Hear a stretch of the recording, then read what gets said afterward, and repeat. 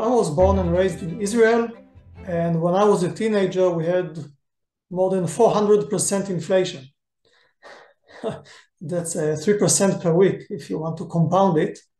So that's pretty serious business. And uh, I remember I was very impressed by how important it seemed and yet how little I understood in real time about what was going on. I was only a teenager.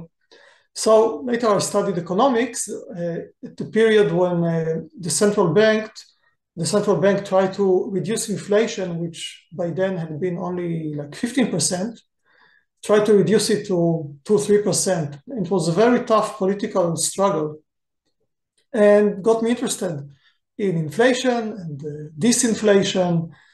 And then in graduate school, one of the professors told me, uh, we are not even sure why people accept this money, let alone in inflation, because it's not backed by gold anymore. So I came across this uh, theory that we kind of have to accept the government's uh, paper money because we have to pay taxes with it.